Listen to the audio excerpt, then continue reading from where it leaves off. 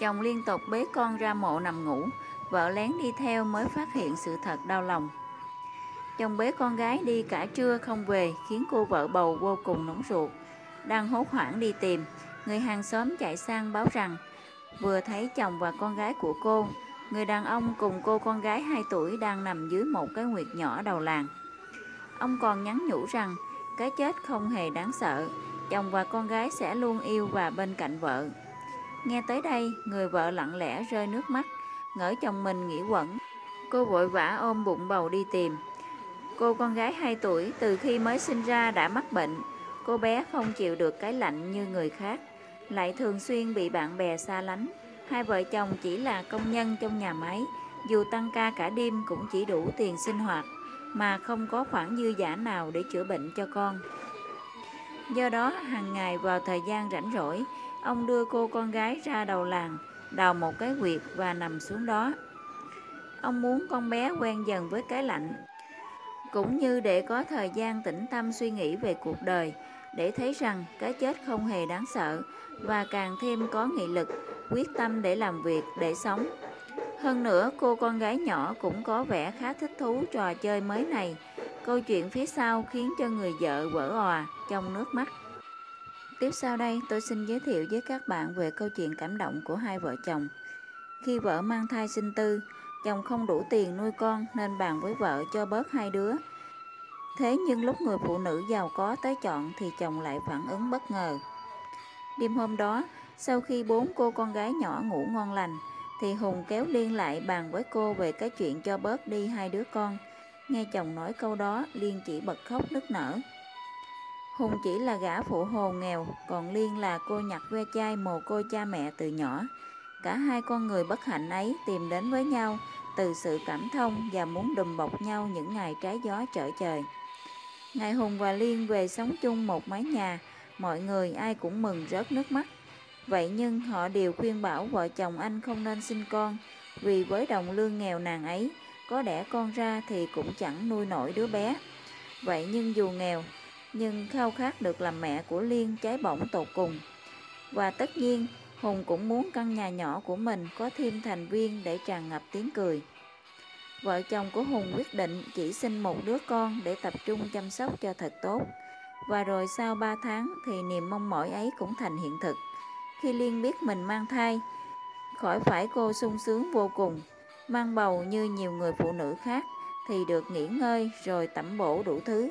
Nhưng với Liên thì cô vẫn phải ra đường nhặt ve chai, vì nếu ngày đó cô nghỉ thì tối sẽ không có gì để ăn cả. Lương phụ hồ của Hùng đã thấp lại còn bấp bênh nữa, Hùng thương vợ lắm. Anh cũng chạy đôn chạy đáo kiếm việc để cho vợ nghỉ ngơi dưỡng thai ở nhà. Anh làm phụ hồ, ban đêm đi bưng bê gạch nữa, nên chắc vợ chồng mình cũng đủ sống đấy. Em cứ ở nhà nghỉ ngơi đi, bụng mang dạ chữa đi lại như thế anh lo lắm.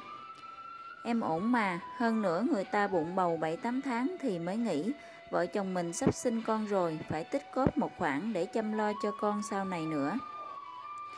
Thấy vợ nói vậy nên Hùng cũng đành gật đầu. Dù nghèo nhưng anh cũng cố mua cho vợ những món ăn bổ dưỡng cho thai nhi. Thế rồi khi Liên mang thai được hơn 2 tháng thì Hùng chắc góp số tiền để đưa vợ đi khám thai xem con có khỏe không chứ với vợ chồng anh thì con gái hay con trai đều không quan trọng. Vậy nhưng khi bác sĩ thông báo kết quả siêu âm rằng Liên mang thai 4 đều là con gái thì vợ chồng Hùng như chết lặng.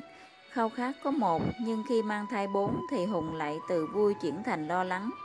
Vì bốn đứa con thì cả anh và vợ không tài nào đủ điều kiện nuôi nổi. Vậy nhưng không vì thế mà bỏ các con được.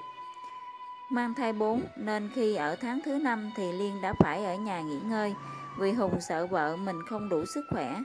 Và rồi sau 9 tháng 10 ngày, bụng mang dạ chữa thì Liên cũng sinh nở thành công. Nhìn bốn cô con gái nhỏ của mình và cả Liên và Hùng đều rớt nước mắt vì quá hạnh phúc. Nhưng xen lẫn niềm vui đó là sự lo lắng về cô máu gạo tiền, khiến Hùng không tài nào ngủ nổi. Một đứa con vợ chồng anh cũng đã vật vả mới lo nổi, chứ đừng nói là bốn đứa. Tiền mua sữa rồi tả cho con nhiều đến mức số tiền Hùng kiếm ra không thể để xoay sở nổi. Đêm hôm đó, sau khi bốn cô con gái nhỏ ngủ ngon lành, thì Hùng kéo Liên lại bàn với cô về cái chuyện cho bớt đi hai đứa con. Nghe chồng nói câu đó, Liên chỉ bật khóc nức nở. Anh biết em đứt ruột đẻ con ra mà, giờ bắt em phải cho đi hai đứa thì em sẽ đau lòng. Anh cũng dứt ruột đứt gan, bần cùng lắm mới nghĩ ra cách này. Không còn cách nào khác sao hả anh? Vợ chồng mình nghèo quá, nếu để bốn con lại nuôi thì kiểu gì cũng chết đói. Thôi coi như cho đi hai đứa, mong rằng sẽ có người giàu có nhận nuôi. Ngày mai anh sẽ đăng tin. Thế rồi, sau ba ngày rao tin, thì có một người phụ nữ giàu có đến xin chọn một đứa trẻ để nuôi. Đối với vợ chồng Hùng thì coi như thế là đã trút được một gánh nặng. Khi người phụ nữ ấy định bế con lên thì Liên níu lại. Chị cho em bế con thêm chút nữa, để con bé bú thêm lần cuối này nữa. Liên rớt nước mắt. Liên vừa bế vừa nụng nịu con. Cô không biết liệu vợ chồng cô có còn gặp lại đứa con này không nữa.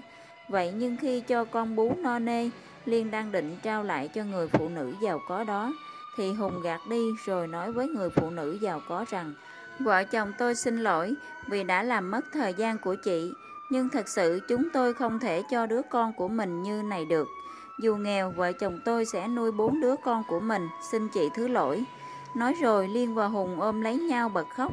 Còn người phụ nữ giàu có đó thấy gia đình Hùng như vậy thì đã quyết định cho vợ chồng của Liên Hùng một khoản tiền trị giá 100 triệu để hai người tính kế sinh nhai nuôi con khôn lớn.